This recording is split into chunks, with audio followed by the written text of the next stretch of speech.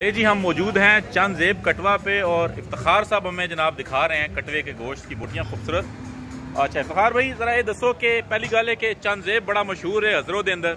ਤੇ ਤੁਹਾਡੀ ਕੀ ਮਸ਼ਹੂਰੀ ਹੈ ਤੁਸੀਂ ਕੀ ਕਟਵਾ ਚ ਕੀ ਐਸਾ ਪਾਉਂਦੇ ਹੋ ਕਿ ਲੋਕ ਤੁਹਾਡੇ ਕੋਲ ਖਿੱਚ ਖਿੱਚ ਕੇ ਆਉਂਦੇ ਨੇ ਬਾਜੀ ਕਟਵੇ ਜੀ ਹੀ ਮਸ਼ਹੂਰ ਗਈ ਭਾਈ ਅਲਹਮਦੁਲਿਲਾ ਅੱਲਾਹ ਪਾਕ ਨਾ ਕਰੋ ਮੈਂ ਬਸ ਜਿਹੜੇ ਲੋਕ ਇਸਾ ਪਸੰਦ ਕਰਨ ਤਾਂ ਉਹ ਅੱਜ ਸਾਡੇ ਕੋਲ ਪੁੱਛ ਲੈਣ ਜਣੀ ਭਾਈ ਕੀ ਹਿਸਾਬ ਕਿਤਾਬ ਹੈ ਮੈਂ ਹਿਸਾਬ ਕੇ ਵੀ ਜੀ ਤੁਹਾਡੇ ਸਾਹਮਣੇ ਕੰਮ ਹੈ ਮਿੱਟੀ ਨਾਲ ਭਰ ਦੋ ਤੇ ਪਕਣਾ ਹੈ ਉਹਦੇ ਮੁਤਾਬਿਕ ਜਿਹੜਾ ਤਾਂ ਨਿਜ਼ਾਮ ਚੱਲਣਾ ਕੁਝ ਜੀ ਅੱਛਾ ਇਹ ਦੱਸੋ ਕਿ ਜਿਹੜਾ ਇਹ ਕਟਵਾ ਕਿੰਨੀ ਦੇਰ ਚ ਪਕਦਾ ਹੈ ਕਿੰਨੀ ਦੇਰ ਚ 5 ਘੰਟੇ ਲੱਗਦੇ ਸਾਢੇ 5 ਘੰਟੇ ਸਵੇਰ ਕਿੰਨੇ ਵਜੇ ਸ਼ੁਰੂ ਕਰਦੇ ਹੋ ਤੁਸੀਂ ਸਵੇਰ ਤਕਰੀਬਨ ਸਵੇਲੇ ਕਾਰੀਗਰ ਸ਼ੁਰੂ ਕਰਨਾ ਜੀ ਕਿੰਨੇ ਵਜੇ ਤਕਰੀਬਨ 5 ਵਜੇ 5 ਵਜੇ ਕੰਮ ਸ਼ੁਰੂ ਹੁੰਦਾ ਹੈ ਹਾਂ 10 ਵਜੇ ਤਕਰੀਬਨ ਸਾਢੇ 10 ਵਜੇ ਤੁਸੀਂ ਹਾਂ, ਸਾਢੇ ਕਰਦੇ ਦਸ ਵਜੇ। ਤੇ ਮੇਰਾ ਖਿਆਲ ਹੈ ਇਸ ਟਾਈਮ ਕੋਈ 2-3 ਵਜੇ ਕੰਮ ਤੁਸੀਂ ਮੁਕਾ ਦਿੰਦੇ ਹੋ ਯਾਰ ਉਹ ਬਾਅਦ ਫਿਰ ਨਹੀਂ ਪਤਾ ਲੱਗਣਾ ਨਾ ਜੀ ਟਾਈਮ ਖਤਮ ਵੀ ਹੋਵੇਲਾ ਮਾਲ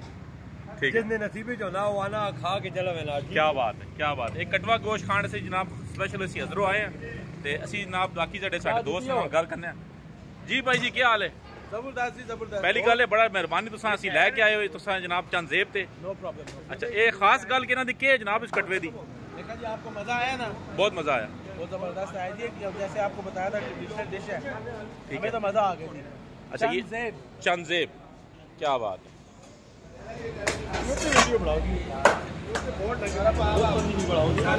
और ये इस पे ऐसे जाता है जी। ये देख रहे हैं, ये चूरी बनी हुई है और इस पे ये ऐसे